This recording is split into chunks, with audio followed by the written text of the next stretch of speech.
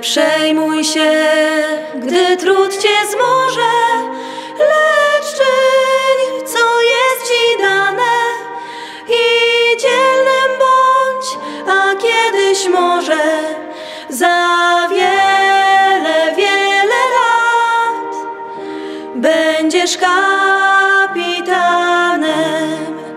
Codziennie szoruj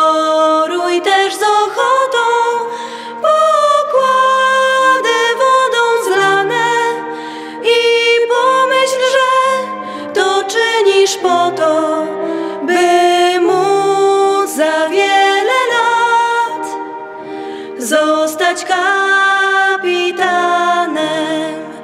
Nie buntuj się, lecz pracuj szczerze i zgodnie z dziennym planem.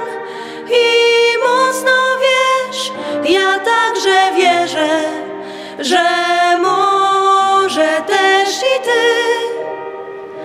będziesz kapitanem. Nie zrażaj się własnymi braki, choć wady Twe są znane, lecz przecież kiep marynarz taki, co nie chce w życiu swym zostać kapitanem. Nie przejmuj się, gdy trud cię zmoże, lecz czyń, co jest ci dane. I dzielnym bądź, a kiedyś może za